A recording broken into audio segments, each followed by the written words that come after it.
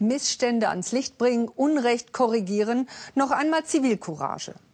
Einer der größten Skandale in unserem Land ist es, dass Millionen Menschen nicht von ihrer Arbeit leben können, weil ihr Stundenlohn so niedrig ist. Vollzeitarbeit und trotzdem auf Stütze angewiesen sein.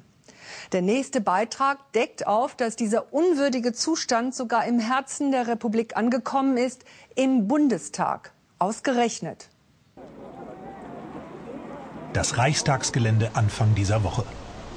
Polizisten mit Maschinenpistolen, überall Absperrungen, Kontrollen. Terrorwarnung. Doch nicht nur die Polizei sorgt hier für die Sicherheit, sondern auch private Wach- und Sicherheitsunternehmen. Bei den Schleusenkontrollen zum Beispiel entscheiden Sie darüber, wer in die Gebäude des Bundestags reinkommt und was draußen bleiben muss. Viel Verantwortung. Wie aber wird diese Arbeit bezahlt? Darüber will mit uns vor der Kamera lange niemand sprechen. Es herrscht Angst unter den Sicherheitsmitarbeitern. Nicht unbedingt wegen der Terrorgefahr. Einer bricht dann doch das Schweigen. Lothar Schmidt macht sich fertig zur Schicht im Reichstag. Sein Arbeitgeber ist nicht der Deutsche Bundestag, sondern eine private Sicherheitsfirma. Zurzeit ist Lothar Schmidt im Bereich der Fahrstühle eingesetzt. Eine Vollzeitstelle. Zu wenig Arbeit hat er also nicht. Bei 180 mal 190 Stunden mal weniger, kommt doch mal drauf auf die Monate oder auf die Jahreszeit drauf an. Aber äh, von dem Stundenlohn an sich selber könnte ich überhaupt nicht leben, wenn ich nicht noch äh, eine Zuwendung von einer Witwenrente hätte.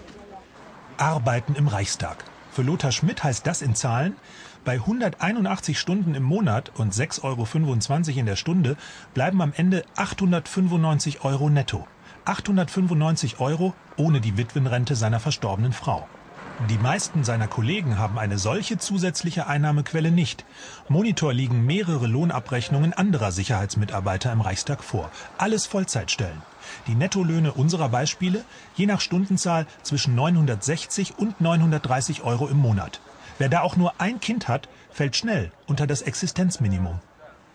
So wie ich von vielen Kollegen gehört habe, müssen sie leider noch zum Amt gehen und sich dort eine, äh, Wohngeld oder irgendwie was dazu, äh, weil das eben halt nicht reicht.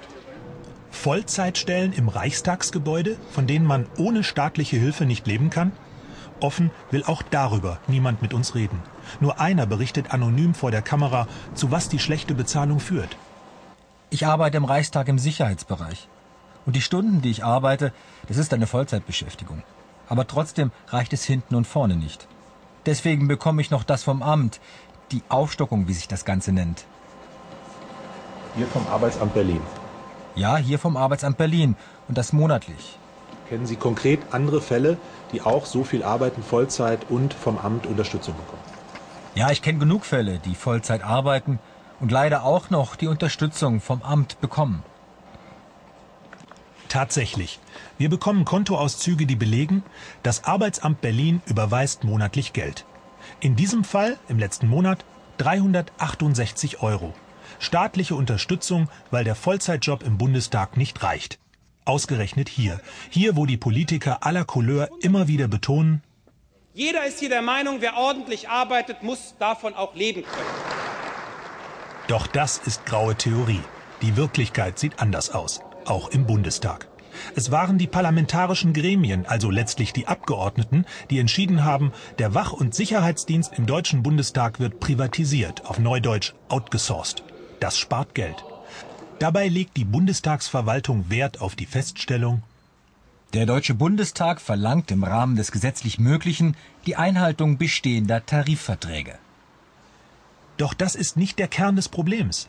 Die privaten Sicherheitsunternehmen im Bundestag zahlen nach Tarif. Alles ganz legal. Nur der Tarif in der Sicherheitsbranche ist deutlich niedriger als der im öffentlichen Dienst.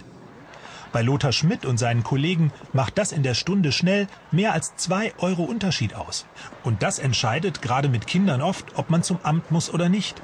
Wie hieß es nochmal da drin, selbst bei den Wirtschaftsliberalen? Jeder ist hier der Meinung, wer ordentlich arbeitet, muss davon auch leben können. Das sagt sein Parteichef. Heinrich Kolb ist FDP-Abgeordneter. Er sieht keinen Vorteil darin, den Männern und Frauen, die auch für seine Sicherheit sorgen, als Bundestagsangestellten mehr Geld zu bezahlen. was die Kostenträgerschaft äh, anbelangt.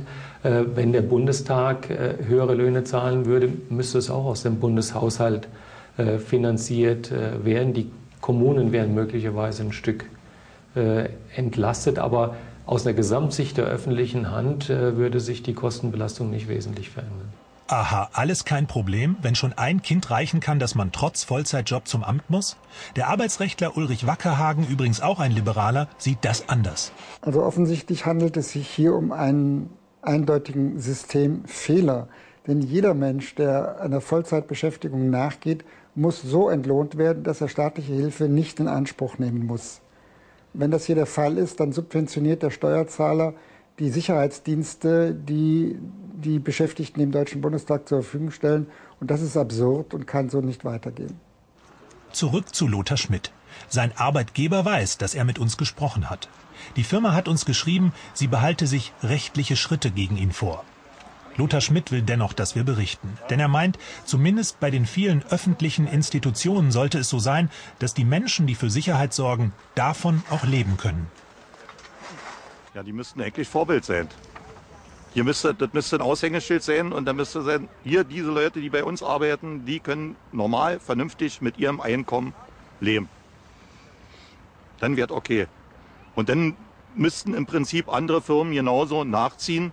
Aber solange wie hier, sagen wir mal, die kein Vorbild sind, dann sagen sich die anderen auch, warum, wieso, weshalb. Der Deutsche Bundestag.